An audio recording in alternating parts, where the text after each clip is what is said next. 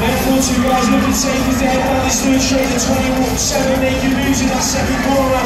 That's Finley Jackson the Burton. Down that final straight there, Ben Davey. Gonna relax his way to the line. With confident in, in there in that two spot. Good score play on track. Then that's Taylor Sampson out of Tilton and walking up for tackle. Whoa, Jesus. One rider down. Jesus. Two riders just managed the mark in the air. Samson then cycling back Industries out front and clear at the moment. The 42 in there in that two spot.